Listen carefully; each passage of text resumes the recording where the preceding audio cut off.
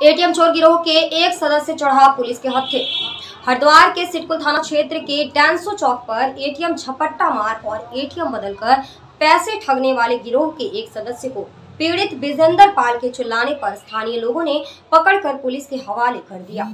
प्राप्त जानकारी के अनुसार विजेंदर पाल नामक व्यक्ति जो डैंसो चौक स्थित एटीएम के पैसे निकाल रहा था, तभी दो झपट्टा मार अपाचे बाइक सवार उसका एटीएम छीनकर भागने लगे। तभी पीड़ित के द्वारा शोर मचाने पर एटीएम झपट्टा मार गैंग के एक व्यक्ति को स्थानीय लोगों ने पकड़कर उसकी जमकर पिटाई की और उसके बाद सिरकुल पुलिस के हवाले कर दिया।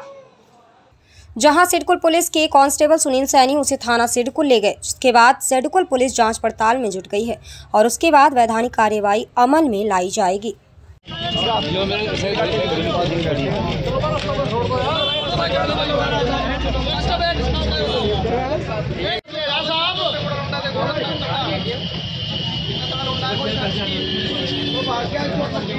मांडू का है फ़ोन मिलवा दो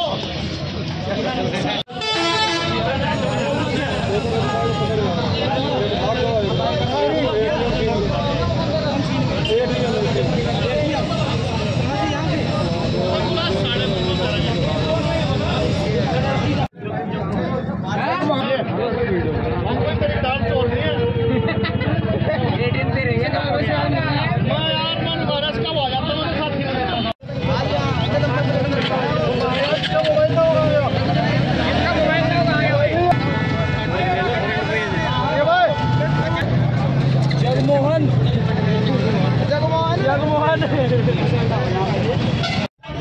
मैं जो है सिटी विधायक में जो है कॉलोनी में जो है काम करवा रहा हूँ अपने मकान प्लॉट में। तो मैं एटीएम से पैसे निकालने आया तो मेरा जो है पासपोर्ट देख के उसने एटीएम लेकर भाग पड़े मुझसे। और जब मैं कहना भाई मेरा आइटम दे दिया कहना कहना मैं अभी आ रहा अभी आ रहा हूँ। तो मैंने भाग से मोटरसाइकिल मुझे गोली पड़ ली मैंने उसकी मैंने। तो सारा मोटरसाइकिल दोनों गिर गए हुए। तो जब मैं उससे मैंने एटीएम दिया था ऊपर से आगे चल पड़ा ले गए। अपडेट मीडिया के लिए हरिद्वार से रणविजय कुमार की रिपोर्ट।